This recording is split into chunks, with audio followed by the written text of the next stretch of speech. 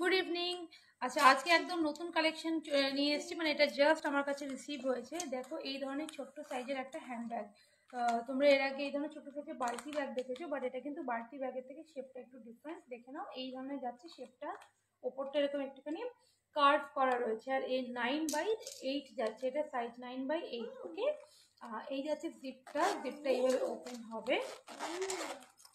এই আছে internal space এখানে ভেতরে তোমরা আরেকটা জিপ কম্পার্টমেন্ট পেয়ে যাচ্ছ ইজিলি তোমরা মোবাইল ফোন ক্যারি করতে পারো, খুব কালারফুল আমার কাছে এখন আপাতত পাঁচটা কালার আছে অ্যান্ড পাঁচটা কালারে ডিফারেন্ট ডিফারেন্ট ডিজাইন পাবে। যেমন এটা যাচ্ছে রেড অ্যান্ড ব্ল্যাকের কম্বিনেশনে নেক্সট দেখাচ্ছি, দেখো একটা ব্ল্যাকের ওপরে এই ধরনের সুন্দর পাখি আর ফুল ডিজাইন রয়েছে।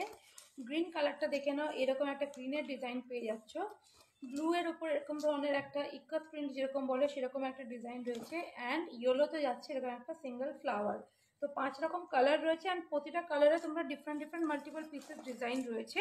ডিটেলসটা তো আমি লাইভ করব, তখন তোমরা দেখতে পাবে। আর এগুলো এক একটা পিসের প্রাইস রয়েছে মাত্র টু টোয়েন্টি করে। অনলি দুশো কুড়ি টাকা করে এই ধরনের সুন্দর ব্যাগগুলো তোমরা হ্যান্ড ব্যাগগুলো পেয়ে যাবে। কালার চুজ করে নিতে পারো। ডিটেলস জানার জন্য কিন্তু তোমরা যদি সব স্টক দেখতে চাও, তাহলে আমাকে একটু হোয়াটসঅ্যাপ করতে পারো। Thank you.